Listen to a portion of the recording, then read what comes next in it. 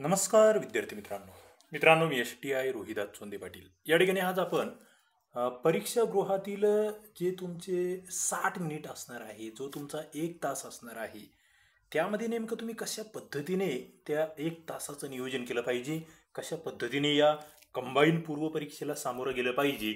यावर यातील एक तीन महत्त्वाचे मुद्दे आहेत त्यावर आपण बोलणार आहोत.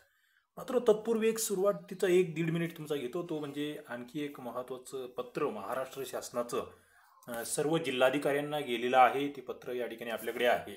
विषय त्याचा असा आहे की महाराष्ट्र लोकसेवा आयोगामार्फत आयोजित महाराष्ट्र दुय्यम सेवा अराजपत्रित गट ब संयुक्त पूर्व परीक्षा दोन हजार वीस नियोजनाबाबत म्हणजे सगळ्या कलेक्टर ऑफिसला या ठिकाणी आठ एप्रिलला पत्र पाठवलं गेलं आहे अकरा तारखेच्या परीक्षेबद्दल. म्हणजे आणखी एक काहींच्या मनामध्ये अजूनही फिरत असेल की परीक्षा रद्द होईल. मित्रांनो ते या ठिकाणी आता होणे शक्य वाटत नाही आहे कारण की हे पत्र आहे या ठिकाणी जर बघितलं तुम्ही हे पत्र कुणाचं आहे? तर श्रीरंग घोलप अव्वर सचिव महाराष्ट्र शासन यांनी सगळ्या जिल्हाधिकाऱ्यांना लिहिलेलं पत्र आहे. यामध्ये काय म्हणता येते की अकरा चार दोन हजार एकवीस रोजी परीक्षा घेण्यात येणार आहे. ओके?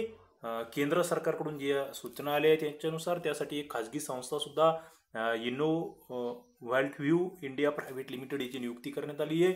आणि खालीलप्रमाणे मग तुम्हाला त्या ठिकाणी ती व्यवस्था करायची आहे. आवश्यक ती व्यवस्था करण्यासाठी कुठते अडथ कुठलाही अडथळा येणार नाही अशा पद्धतीचे अधिकारी या ठिकाणी नियुक्त करण्यात येणार आहे. त्यानंतर या संस्थेच्या अधिकाऱ्यांना कर्मचाऱ्यांना त्या ठिकाणी कोण कोणताही अडथळा नाही. म्हणजे त्यांना त्या ठिकाणी थोडक्यात मदत करण्यासाठी नेमलेलं आहे असं या पत्रात म्हटलं गेलं आहे त्यानंतर विद्यार्थ्यांचे प्रवेशपत्र हेच पास म्हणून गृहीत धरण्यात येईल. त्यांच्यावरही निर्बंध आणू नये.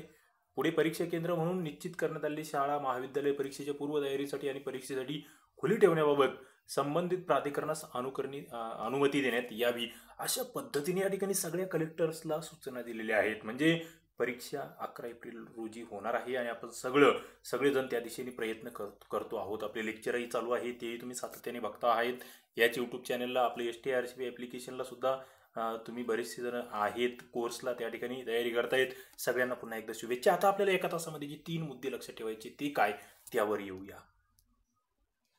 मित्रांनो माझा पहिला पॉईंट या ठिकाणी आहे तो म्हणजे गती आणि अचूकता. तुम्ही परीक्षागृहात प्रवेश करणार आहे. तुम्हाला साठ मिनिटामध्ये शंभर प्रश्न सोडवायचे आहे. ओके?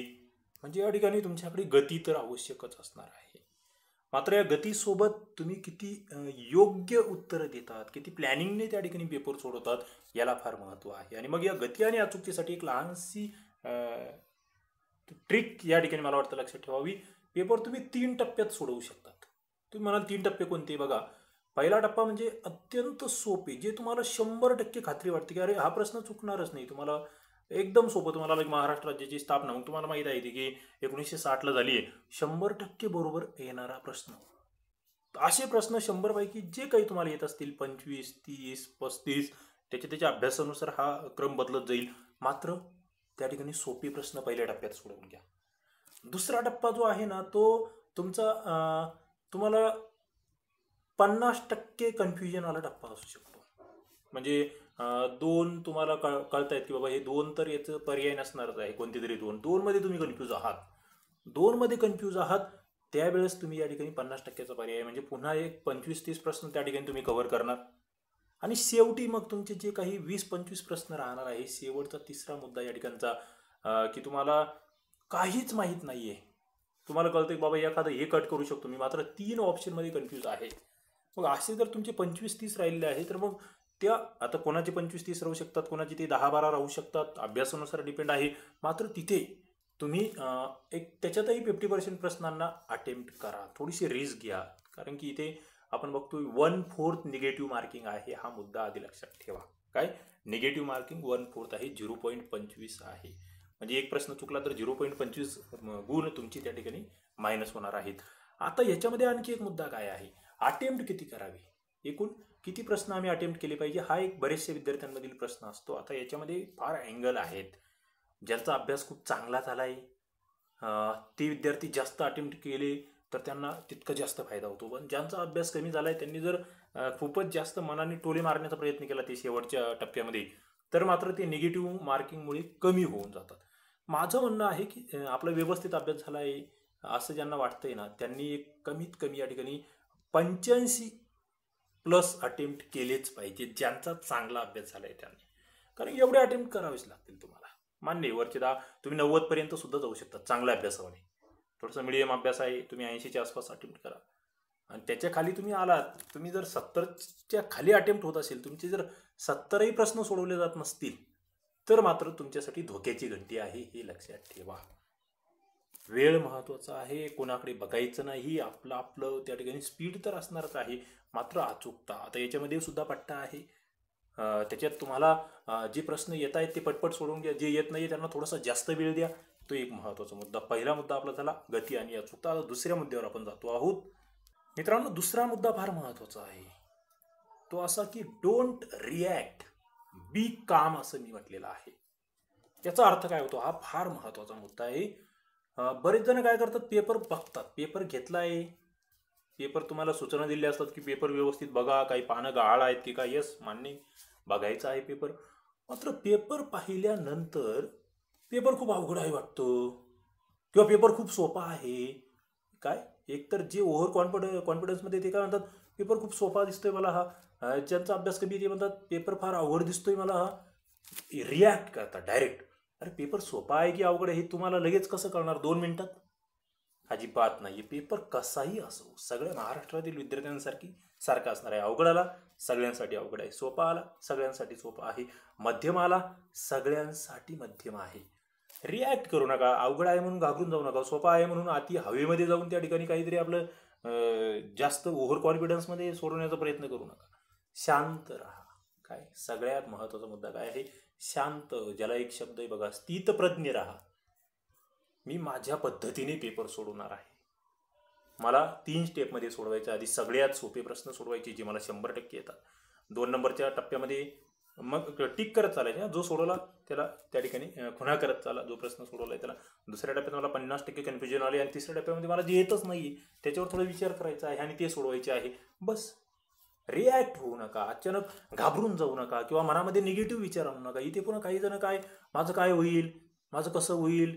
माझे शेजारी काही कोणीतरी कोरोनाचा पेशंट असेल का? असं काहीतरी बिनकामाच्या याच्यामध्ये वेळ आपला वाया घालू नका. विचारांवर नियंत्रण करा. आपले विचार जे आहे ना आपले विचार पॉझिटिव्ह ठेवा. मा मनात डोक्या आपल्या डोळ्यासमोर आपल्या आईवडिलांचे चित्र येऊ द्या. आपल्यासाठी जे मेहनत घेत आहेत त्यांचं चित्र येऊ द्या.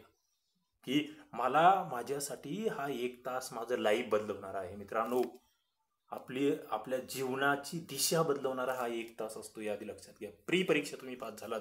तुम्हाला मुख्यला संधी भेटली तर तुमच्यासाठी फार मोठी सुवर्ण संधी असते. आणि तुम्ही जर एकदा अधिकारी झालात P S I S T I S O तुमचं लाईफ बदलून गेलेलं असतं हे विसरू नका. हे शब्द लिहून ठेवा. एक तास तुमच्यासाठी अत्यंत महत्त्वाचा आहे. ओके आपण पुढच्या मुद्द्याकडे वळूया. पुढचा तिसरा मुद्दा फार महत्त्वाचा आहे. नो सिली मिस्टेक्स इथे प्रत्येक वेळेस बहुतेक विद्यार्थ्यांचे चार ते पाच प्रश्न असे असतात की जे मला येत होते मात्र माझे चुकले. येणारे प्रश्न. सोपे प्रश्न. चुकतायत का चुकतायत? त्याच्या येथे मुद्दा हा आहे की सिली मिस्टेक्स का होतात? ओके फार महत्त्वाचा मुद्दा आहे. बऱ्याच वेळेस असा समज होतो की अरे हा प्रश्न फार सोपा आहे. सोपा आहे. जास्त विचार करायचा आणि पटकन काहीतरी माझं उत्तर या ठिकाणी सी आहे. त्याला गोल केलंय. नंतर मग कुठेतरी कळतं अरे यार हे तर सोपं वाटलं पण चुकलंय. काही वेळेस असं होतं की प्रश्न पूर्ण वाचायचा नाही. पूर्ण न वाचणे. हा फार महत्त्वाचा मुद्दा पूर्ण न वाचणे. याला सुद्धा ओव्हर कॉन्फिडन्स म्हटलं जातं. म्हणजे उत्तर येत आहे तुम्हाला. प्रश्न वरती चार विधानं दिले. खाली मग त्याचे चार पर्यायी उत्तर दिले. बरेच जण ते चार विधानं वाचतायत. आणि म्हटलं असतं वर की खालीपैकी काय योग्य आहे? पहिलं योग्य वाटतंय त्याला. ते पहिलं म्हणजे हे करून देतात. मात्र खाली पर्यायी उत्तर सुद्धा आहेत. ते त्याच्यानंतर काही शब्द असतात जे फसवणारे असतात. समजा तुम्हाला बिनचूक हा शब्द प्रयोग वापरला गेला आहे बिनचूक. दुसरा तुम्हाला आचूक हा शब्द वापरला गेला आहे त्याच्यानंतर अयोग्य योग्य बरोबर चूक याच्यामध्ये आणि पुढे मग पुन्हा असं म्हटलं गेलं की अचूक नाही किंवा बिनचूक नाही असंच थोडं शब्दांमध्ये घोळ घातलेला असतो. एम पी सीचे पेपर आहेत. इथे प्रश्न वरती सगळं कळतंय की अरे हे हे मला माहिती आहे सगळं. मात्र खाली जे हे शब्द आहेत हे शब्द यांचे अर्थ नीट न कळाल्यामुळे त्या ठिकाणी मिस्टेक्स होतात. पुढचा मुद्दा काही जण आहे ना खूप वेगाने पेपर सोडवण्याचा प्रयत्न करतात. प्लॅनिंग नसतं टाईम मॅनेजमेंट नसतं. म्हणजे एखादं समजा गणित बुद्धिमत्तेत जर सुरुवातीला प्रश्न आलेत मग त्याच्यामध्ये खूप जास्त वेळ घालवून टाकायचा. म्हणजे आपल्याला येत नाही मग पुढे जायचं ना. तुम्हाला काही जणांचं काय आहे म्हणजे प्रत्येक प्रश्न असं क्रमाने तुम्हाला सोडवायचा आहे बस काही घेणं देणं नाही मला. असं जर तुमचं काहींचं जर हे असेल प्लॅन तर मग त्याच्यामध्ये अवघड प्रश्नांमध्ये जर तुमचा खूप जास्त वेळ गेला तर मग शेवटी सोपे प्रश्न सोडवण्यासाठी सुद्धा तुम्हाला वेळ भेटत नाही. आणि मग कमी वेळेमध्ये कुठेतरी दहा मिनिट राहिले आणि मग माझे वीस प्रश्न बाकी आहे. मग त्या ठिकाणी पटपट पटपट टोले मारण्याचा प्रयत्न होतो. मग त्या ठिकाणी मिस्टेक्स होऊन जातात. वेळेचं नियोजन जे आहे ना हे इथे फार महत्त्वाचं म्हणजे वेळेच्या नियोजनाअभावी सुद्धा काही जणांचं इथे सिले मिस्टेक्सचं प्रमाण वाढतं. वेळेचं नियोजन. ओके हा मुद्दाही या ठिकाणी महत्त्वाचा आहे. त्याच्यानंतर काही जण चुकीच्या जे काही कन्सेप्ट आपल्या मनामध्ये रुजलेले असतात त्याला धरून बसतात. नाही नाही याचं हे असंच येऊ शकतं. त्याचं तसंच येऊ शकतं. आपण ते बघितले राज्यसेवेमध्ये महात्मा ते हव्यांचा संप. तिथे काही जणांना वाटलं नाही नाही महात्मा फुले नसेल मग दुसरंच आपण मारू. एवढा सोपा प्रश्न कुठे येईल का? असे काही जण वेगळेच विचार करतात. काही जणांना ते काले म्हटलं होतं मग काले म्हटलं सातारा म्हटलं की आम्हाला राजेशाहू महाराज माहिती मात्र इतरही तिथं ते असू शकतात. मग अशा पद्धतीच्या मिस्टेक्स या ठिकाणी होतात. मित्रांनो ह्या होणार नाही याची तुम्हाला काळजी घ्यावी लागेल. चला नक्कीच तुम्ही या ठिकाणी या चर्चेतून खूप काही शिकला असाल. आणि तुमच्या पेपर सोडवण्यामध्ये त्या ठिकाणी याचे फायदे होतील असं मला वाटतं सगळ्यांना या ठिकाणी ऑल दी बेस्ट परीक्षेसाठी शुभेच्छा. प्रत्येकजण मेहनत घेईल आणि पूर्वपरीक्षेपासून मुख्यसाठी पात्र होईल अशी अपेक्षा व्यक्त करतो. या ठिकाणी थांबतो. व्हिडिओ आवडला असेल लाईक करा.